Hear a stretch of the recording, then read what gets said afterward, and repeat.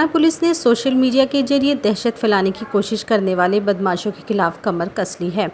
Rewari police ने ऐसे ही एक आरोपी को महेंद्रगढ़ फाटक के पास से गिरफ़्तार किया है। आरोपी की पहचान रामपुरा निवासी रवि उर्फ़ मेटल्लू के रूप में हुई है। आरोपी के कब्जे से एक पिस्टल भी बरामद की गई है।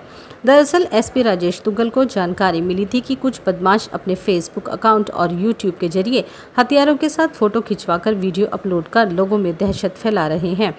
एसपी ने संज्ञान लेते हुए सीआईए इंचार्ज को कार्यवाही के आदेश दिए। इसी बीच पुलिस को रवि उर्फ़ मेटेल्लू को के बारे में जानकारी मिली कि उसके पास पिस्टल है और उसने फेसबुक पर दहशत फैलाने के लिए उसने फ़ोटो डाला हुआ है।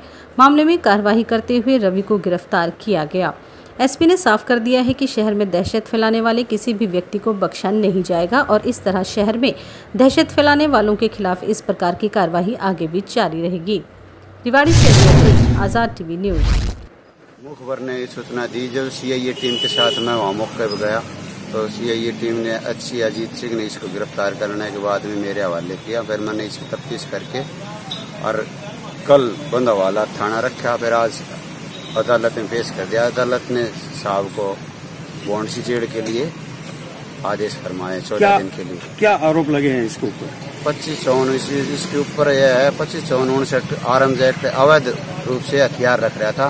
वो बरामद करके ना माड़खाना में जमा करवा दिया। बताया जा रहा है कि हथियारों के साथ फेसबुक पर अपना फ़ोटो भी अपलोड करता था यूट्यूब पर भी करता इसके था। बारे में तो तो हमें नहीं पता चला और ना यूट्यूब में यूज़ करता हूँ पर इसके बारे में पता चला था ये हथियार रखता है अवैध हथियार है और इसको सूचना मिलने के बाद में काबू करके इससे बरामद किया।